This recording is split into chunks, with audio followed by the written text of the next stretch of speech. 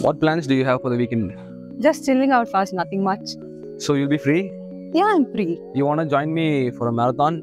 What kind of marathon? Like uh, basically, there's an awareness campaign going on Regarding regarding uh, the harmful effects of plastic. regarding the harmful effects Yeah. of plastic. So I'm- I'm Just willing to join okay. and I just want to conversate more about Hmm. plastic. Yeah, let's talk about it first. Let's have tea. Okay. Yeah.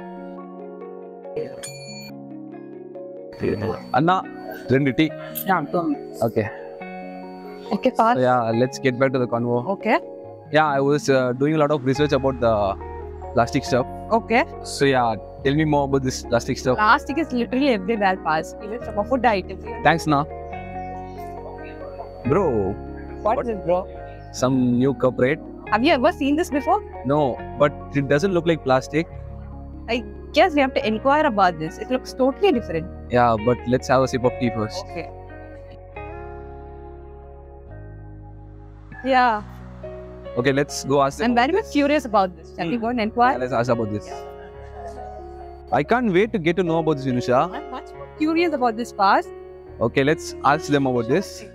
Hi, Anna. Hi, guys. What do you want? So, what is this? So these are biodegradable products made up of agricultural waste. Wow.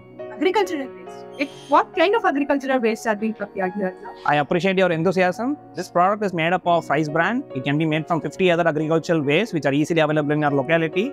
Yeah. It is environment friendly. It is animal edible and is a perfect substitute for plastic in our environment. We Wow. actually got the answer for our question part. Yeah, we were just talking about this. We were talking about how harmful plastic is.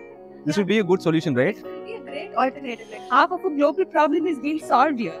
And it is not harmful for the environment. Yeah, can you please talk more about this? Yeah, it is made up of rice bran, uh, sugar beet, on all other agricultural waste which are easily available in locality. which Okay. easy to produce and it is cost efficient as compared to plastic.